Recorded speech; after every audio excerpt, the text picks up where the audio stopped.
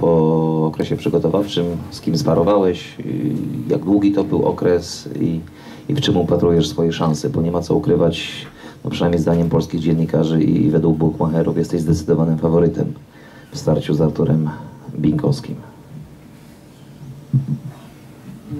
Nie wiem, to że, to, że jestem faworytą, to mnie to, nie wiem, jakoś nie patrzę na to w to, taki sposób. Ja po prostu będę chciał wejść do ringu i wygra- wygrać swoją walkę.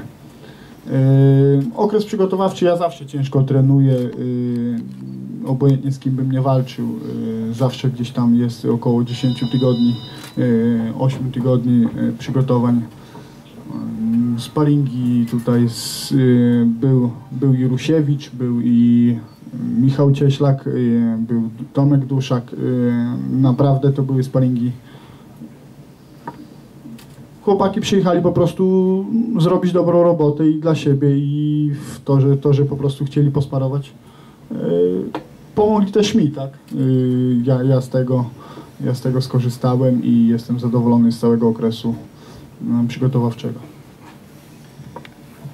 Dziękuję bardzo. Krzysztof Zimno, to jeszcze czym mogę